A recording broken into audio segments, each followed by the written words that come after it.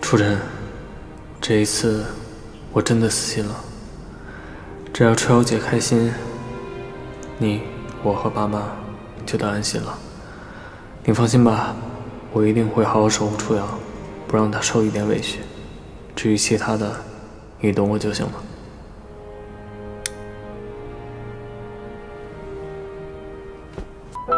初晨啊，哎，你看看，你看，我觉得挺好的。哦，嗯，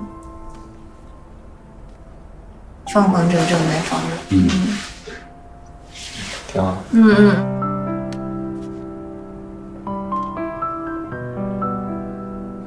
又大又亮，嗯嗯，关键是还关键对，关键是白。嗯，这墙因为白呢，倒是